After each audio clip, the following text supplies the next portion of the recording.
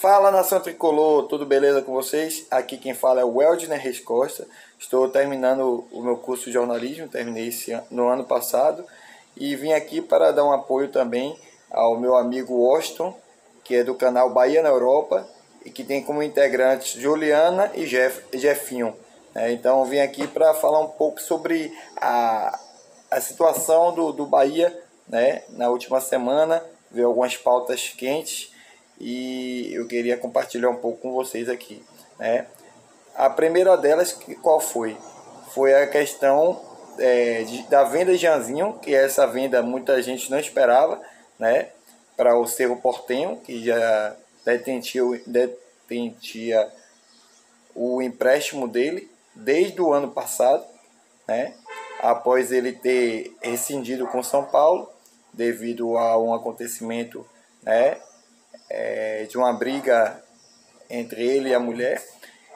E ele estava no Atlético Goianiense, se destacou e depois foi para o seu Portenho e agora foi comprado 70% dele e o Bahia vai receber um bom dinheiro agora, que é uma coisa que não era esperado para esse ano e saiu, saiu como é, uma boa ajuda para o Bahia nesse momento agora que a gente está na Série B, que precisa é, de, de, de dinheiro né, também. Então é isso aí, galera. A outra coisa que eu tenho para informar é sobre a questão de Guto Ferreira, né, a entrevista muito polêmica dele, que sinceramente eu não concordei com a atitude dele, né? Que ele expôs um jogador, que foi o Oscar Ruiz, que apesar de não vinha bem ano passado, mas chegou já fazendo gol, ajudou bastante contra o ABC na Copa Nordeste, né? Ainda na, na fase, na primeira fase, né? Antes de vir as quartas de finais. E ele veio com aquela expectativa, né, de ser possivelmente até o, o futuro Gilberto, né? Apesar de jogar mais pelo, como ponta, mas ele joga como centroavante também, tinha feito muitos gols pelo Cerro Portenho, era ídolo lá da, do, do time onde ele estava, no Cerro, do Paraguai. Mesmo Cerro que é, comprou agora Jeanzinho, né? E o que acontece? Simplesmente ele não vinha rendendo bem desde antes da chegada de Guto. Logo quando ele chegou, foi trazido por, pelo técnico Dado Cavalcante. E infelizmente eu se encaixar bem no Bahia, mas nada disso, né? É, eu acredito que deve fazer com que um, um, técnico exponha o jogador da forma que ele expôs, né? Guto é, acabou escorando ele, né? Em relação ao resto do elenco e foi muito duro. Então acho que as críticas dele, é, apesar de eu até entender e realmente o atleta não estava rendendo bem e tal esperado, mas eu acho que poderia ser de forma é, interna, né? Ou algo mais tranquilo. E por último, o que eu tenho para falar sobre a questão de Guilherme Belitani, né? Que teve um protesto na casa, em frente à casa dele ontem, né? Enquanto, enquanto abamou situação que o Bahia se encontra agora na segunda divisão. E foi muito repercutido aqui né, no, nos principais jornais esportivos, né, na, nas grandes mídias, né, no, no, Instagram também foi transmitido ao vivo, né, lives sobre essa situação.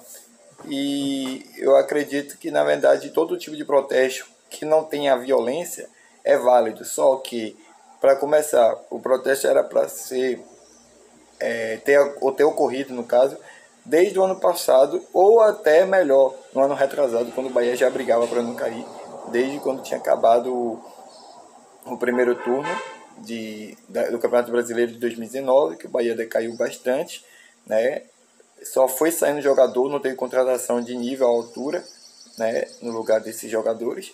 E eu acredito que era para ter feito protesto desde antes. Apesar de ter tido alguns protestos ano passado, uns três ou quatro vezes a Bamor chegou lá no CT para conversar com o Belitani, mas foi um protesto assim que foi mais é, um acordo, né?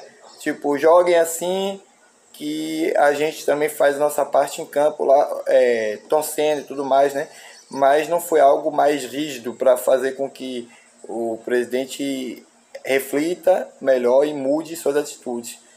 E a partir do momento que o presidente foi contra né, a entrada da torcida, até passou na mídia como se a Bambu tivesse invadido, né, que ninguém sabe ao certo como foi, se foi um acordo, se foi uma certa invasão de privacidade, mas a questão é que o portão estava aberto e não se sabe sobre a situação como foi mesmo, ao certo, apesar das imagens de segurança né, que foram mostradas. Então, é, prefiro me manter neutro em relação a isso, mas a questão é que isso aí fez com que alguns integrantes da Bambu se, integrantes da Bambu se revoltassem com essa situação de que Belitani disse que ia possivelmente processar eles por ter invadido lá o CT e tudo mais. Da Bambu, e aí fizeram esse protesto com essa né, situação em frente de, à casa dele. Que então é isso aí, galera. Mais informações, possivelmente processar chega aqui por ter invadido no canal Bahia na Europa. E aí fizeram esse é, protesto. Se quiser me conhecer é, também, em frente à casa dele.